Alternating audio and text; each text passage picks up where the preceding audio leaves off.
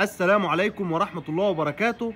من أمام قبة رقية دودو بنت بدوية شاهين بقرافة الإمام الشافعي بحي الخليفة بالقاهرة.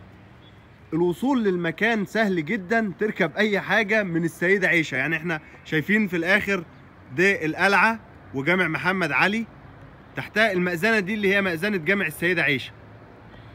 اللي جاي من السيدة عيشة ورايح لغاية متحف الحضارة أو اسم شرطة مصر القديمة. هيمشي في الشارع ده اللي هو ماشي فيه العربيات النهارده اللي في أوله البنزينة وبعدين نادي الأبطال وبعدين المعسكر بتاع الجيش ده. ومتحف الحضارة باين في الآخر أهو ورا الهرم ده. وفي في, في الشارع ده على اليمين في جامع اسمه جامع سلطان المتحبين إحنا في الشارع اللي قبله على الشمال. وتعلموه من المأذنة دي. المأذنة الغريبة دي ندخل عندها الأثر بتاعنا موجود في الشارع ده. ناخد كده مشهد عام للقرافه بسرعة. يعني باين في الآخر خالص أهو ده قبة الإمام الشافعي ومأذنة جامع الإمام الشافعي. وفي القباب دي اللي هي حوش الباشا مدافن أسرة محمد علي باشا. القباب دي. شايفين القبة دي؟ اللي هي ال- الهلال بتاعها معوج من فوق. فاكرين الأميرة شويكار اللي هي مطلقة الملك فؤاد واللي السرير بتاعها شاهد القبر بتاعها كان على شكل سرير من المرمر؟ دي قبة إخواتها. اللي هم ال- الأمير أحمد سيف الدين والأمير محمد وحيد الدين. أحمد سيف الدين اللي كان ضرب النار على فؤاد وهو أمير. في نادي محمد علي اللي موجود النهارده في شارع طلعت حرب. باين برضو مشهد الجيوش فوق جبل المقطم وتحت اللؤلؤة الأبيض ده ودي مأذنة محمود باشا الفلكي وجامع شاهين الخلواتي أهو في قلب الجبل. في اثر مهم جدا هنا هي القبة دي.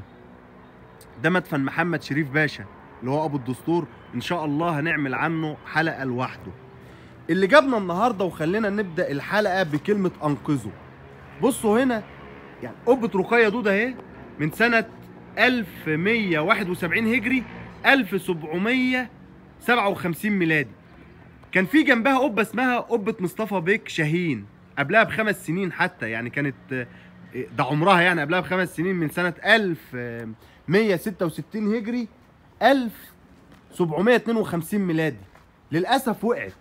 وده يعني هي مكان البوص ده. لنفس السبب اللي للأسف هتقع بسبب وإحنا ما نتمناش كده قبة رقية دودو. المية اللي هنا وشوفوا حتى يعني في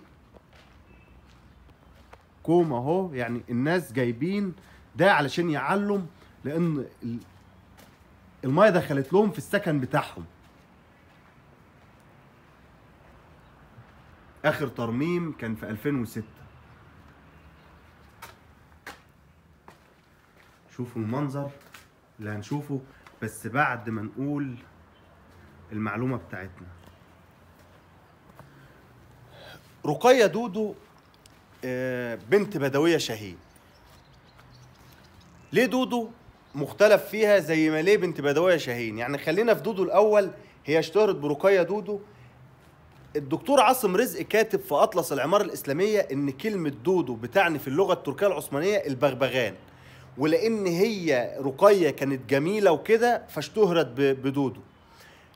لما سألت حتى الدكتور أحمد هارون أستاذ اللغة التركية وصديق اسمه عمر فاروق ده تركي أصلا يعني قال لي هي هي كلمة دودو موجودة في القاموس بمعنى البغبغان تمام؟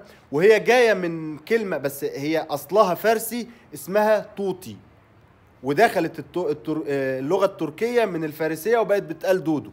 لكن لما هو يكتب آه، يعني اشتهرت بدودو بسبب جمالها. هو البغبغان يعني ما بتضربش بيه المثل بالجمال يعني ممكن يتضرب بيه المثل في في الفصاحة في اللماضة.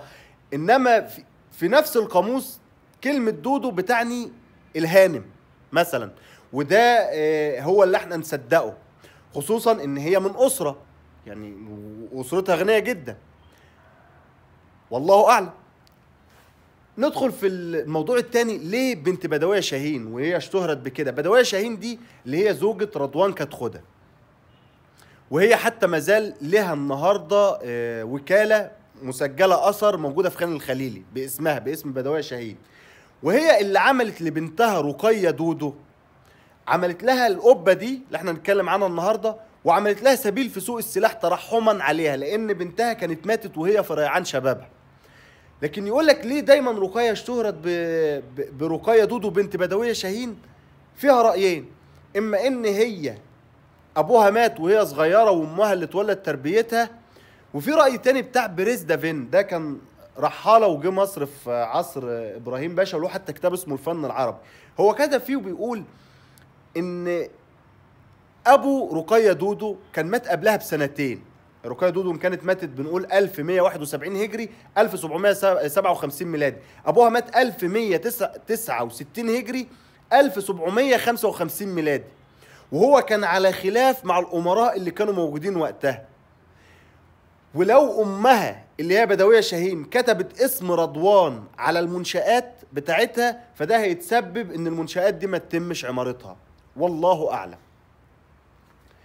لكن في النهاية هي ال ال الست اللي هي بدوية شاهين هي اللي عملت القبة دي لبنتها. زي ما هو مكتوب حتى أهو يعني. الاسم هنا دي رقية دودة. أنا للأسف مش عارف بنت ست بدوية شاهين مش عارف مش عارف أدخل بسبب الميه وكاتبة على كل الأعمدة اسمها وبرضه الأدعية لها وإذا وقفت على هذا الضريح فاسأل وب... يعني أكيد أدعية الناحية الثانية وبرضه مكتوب هنا أهو دودو باين رقية بس مش باينه الا التاء المربوطه ودودو بنت الست بدوية شاهين. أنا جيت المكان ده من حوالي سنة وخمس شهور. ما كانش فيه مية وصورته كويس جدا. وللأسف أنا مش عارف أدخل أقف النهارده يعني هي قبة فريدة من نوعها. وفي تحت في تحت التركيبة دي في غرفة ضريحية حجرة اللي هي فسقية الدفء. فبسهولة قوي إن هي المية تاخدها وتنزل. ومش مش بعيدة لأن يعني دي حاجة إن هي إحنا بنقول ما نتمناهاش بس هي حصلت بالفعل في جارتها قبة مصطفى بيك شاهين. ما كانش فيه مية من سنة وخمس شهور لكن جيت في 2 ديسمبر والصور عندي. يعني جيت في 2 ديسمبر 2017 من سنة بالظبط. كانت المية ابتدت تظهر. لكن برضو ما كانتش بالشكل ده وما كانتش بالكترة دي.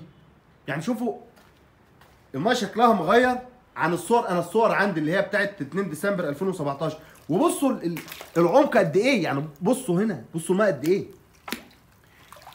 يا جماعة دي لازم تلحقوها لأن بالفعل هتقع. دي مش مش هنستنى لغاية ما نقول استنوا لما تيجي فلوس أو آه، لا أصل في الخطة لا دي هتقع.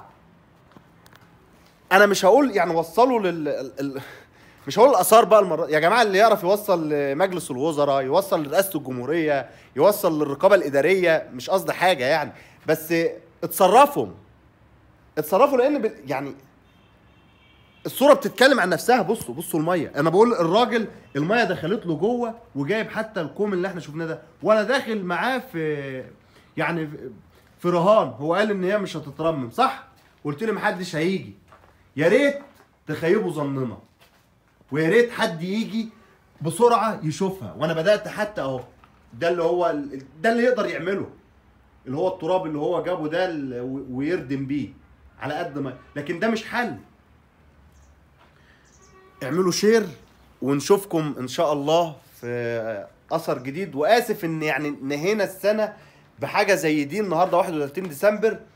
بس حاجة طارئة فأرجوكم الحقوها. والسلام عليكم ورحمة الله وبركاته.